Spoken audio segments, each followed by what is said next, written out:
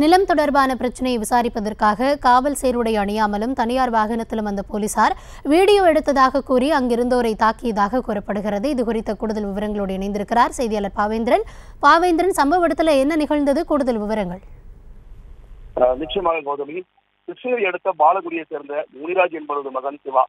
அதே பகுதியை சேர்ந்த பொன்னுசாமிக்கு சொந்தமான நாலு சென்ட் நிலத்தை கடந்த இரண்டாயிரத்தி ஒன்னில் வாங்கி ஒப்பந்த பத்திரம் செய்துள்ளார். ஆனால் பத்திர பதிவு செய்யவில்லை. பொன்னுசாமி தன் பேரன் செல்வராஜுக்கு அந்த நிலத்தை தான செட்டில்மெண்ட் எழுதி கொடுத்து விட்டார். அந்த நிலத்தை செல்வராஜ் அதே பகுதியைச் சேர்ந்த சுந்தரேசன் என்பவருக்கு விற்றதாக பத்திரப்பதிவு செய்துள்ளார்.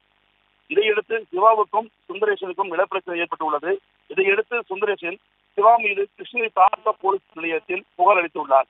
இந்த நிலையில் நேற்று தி திமுக சிக்கல் ஒட்டிய காரில் சென்ற போலீசார் சிவாவை விசாரிப்பதற்காக சென்றுள்ளனர்.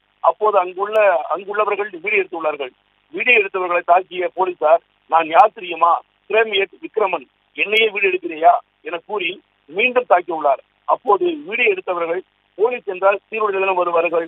போலீஸ் வாகனத்தில் தான் வந்தாலும் எங்களுக்கு தெரியும்.